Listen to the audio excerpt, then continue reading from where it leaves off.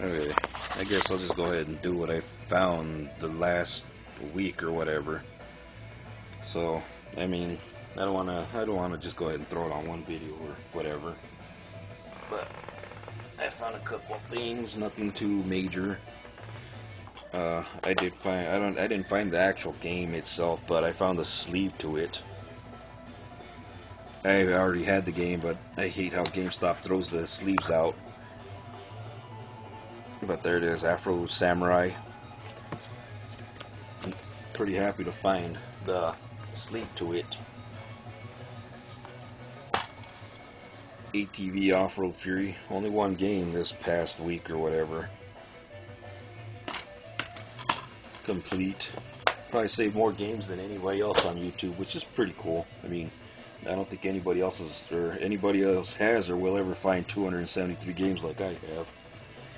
Oh, I also found, to round it out in, in this video, I also found some DLC codes. They tried to butcher them by cutting them in half, but there's Alan Wake and Gears of War 2. But as you can see on these, the codes are the codes are untouched. So I've already tried the codes; they work, but I haven't like used them.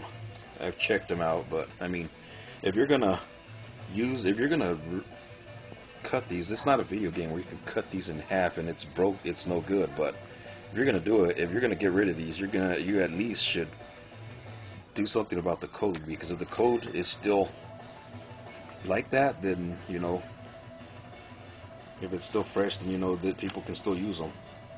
But whatever. Found more codes. I haven't found codes in a while. So that's pretty cool. Anyways, that's pretty much it for now. This is, I believe, the 15th Gamer Finds video. Later, guys.